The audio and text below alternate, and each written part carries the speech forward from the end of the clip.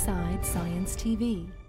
If police can detect alcohol in your breath, could doctors detect heart disease the same way? You know, people when they think of breath testing, they think of the breathalyzer, and if you can do that at the side of the road, you can potentially do it anywhere.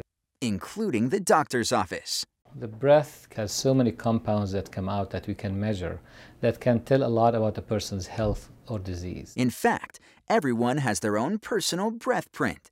And now, pulmonary specialists at the Cleveland Clinic are working with NASA engineers to read what your print says about your health. Everything in the blood that is potentially volatile means it can be a gas at, through, at body temperature.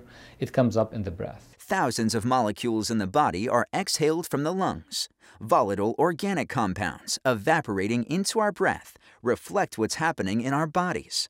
So far, researchers have been able to detect asthma, diabetes, liver disease, kidney disease from breath tests.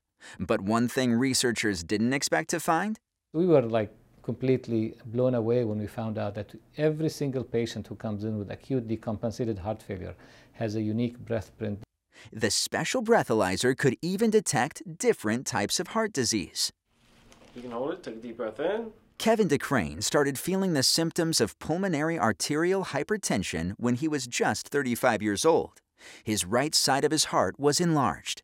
It's a progressive and terminal disease. I'd be running upstairs, uh, and when I get to the top of the stairs, I just got short of breath, which really never happened before. Kevin took the breath test.